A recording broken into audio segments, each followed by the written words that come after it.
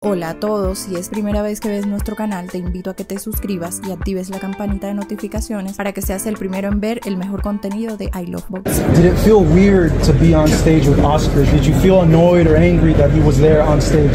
I, I don't like I don't like that kind of person to be honest. That's it. But I, I feel comfortable because this is my, is my land, not his land. So uh, at the end of the day, I feel comfortable with myself. I did because everything you see, I, I, we we made that.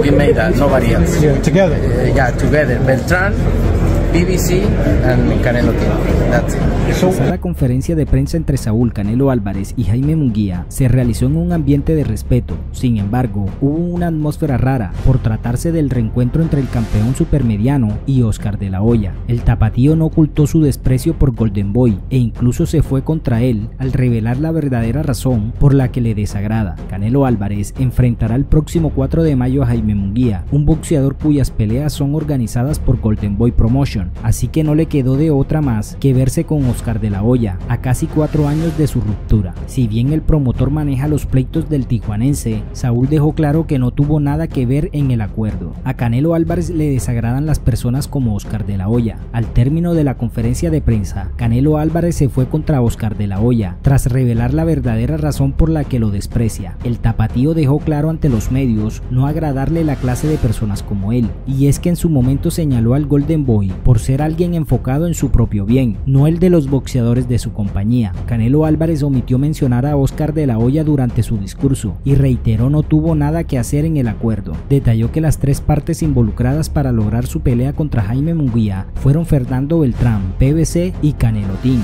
nadie más. No me gusta esa clase de personas, como Oscar de la Hoya. Para ser honesto, todo lo hicimos nosotros, nadie más. Fernando Beltrán, PBC y Canelotín. Este fue el primero de múltiples encuentros que tendrán Canelo Álvarez y Oscar de la Hoya, previo al pleito del próximo 4 de mayo contra Jaime Munguía. Si bien el tapatío no ocultó su desprecio por el promotor, destacó sentirse cómodo por tratarse de su momento. Al campeón le desagradan esta clase de personas, y es la verdadera razón de su indiferencia con Golden Boy. did it feel weird to be on stage with Oscar? Did you feel annoyed or angry that he was there on stage? I, I don't like I don't like that kind of person to be Yeah. honest. That's it. But I, I feel comfortable because this is my, is my land, not his land. So uh, at the end of the day, I feel comfortable with myself. I did because everything you see, I, I, we we made that. We made that. Nobody else. Yeah, together. Uh, yeah, together. Beltran, BBC, and Canelo Team. That's it. So, what's going for you on the future? Are you going to be a free agent? Like, what happened with you splitting from PBC, then coming back? I'm very happy to work with everybody. Uh, I, I, I'm happy to work with Al Haimon, and he's happy to work with.